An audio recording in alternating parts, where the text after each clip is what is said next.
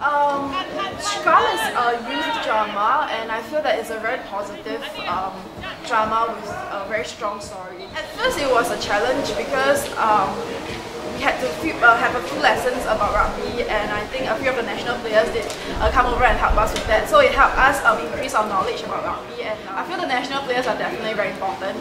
Um, because they increase our knowledge of the game and also without them, you know, all the plays on the pitch and all the plays on TV that you see not be possible. And uh, our involvement start, started from the initial stage of the filming where they start uh, practicing how to uh, pass the ball and do all the basic stuff of rugby. Two of us, we, um, actually one more. So we, we go we go about helping choreographing uh, the rugby scenes, make it as real as possible so that um, why they take us is because they want it to be as real as possible.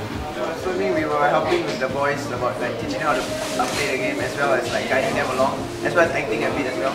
So it's both a bit of both parts, like helping them out plus as well as acting, and then showing them how the game is played, giving them uh, some tips on how to play, how to how to run their running lines and stuff. Yeah, for the first time on the screen, right, I feel very nervous uh, because for me all the like the stars, celebrities, like Felicia Chin and some some other actors, actors. So by getting there, very exciting lah. So like get meet the actor, like they knew they rugby, so we try all this.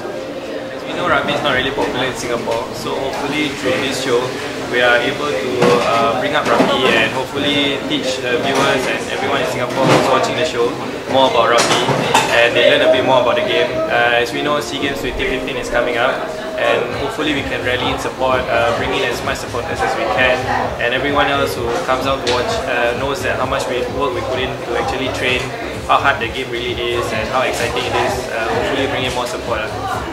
But I think it's so lucky for Singaporeans to watch um, SEA Games live with all the um, strong countries in the region plus Singapore and I feel that uh, we should support our pride and joy. So all Singaporeans please come and watch all rugby games and support our Singapore team.